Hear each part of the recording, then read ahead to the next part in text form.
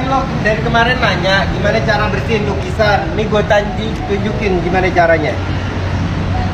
Nih nih, ini kotor banget lo lihat deh. Tangan gue sampai hitam gitu. Ini salah satu karya gue tahun 2020. Lo lihat deh. Ini gue sengajain sekotor ini biar bisa nunjukin lo. Tuh, lihat. Apaan nih filosofi ini? Bang Billy, kenapa sih maksudnya lukisan ini apa nih maksudnya? Ini keberanian dan doa. Lo lihat deh. Kenapa warnanya merah? Nih, merah berani, hijau doanya. Jadi saat lo berperang atau melawan sesuatu, lo harus berani tapi di satu sisi lo juga harus berdoa. Terus kenapa selalu pahlawan sih, Bang? Kebanyakan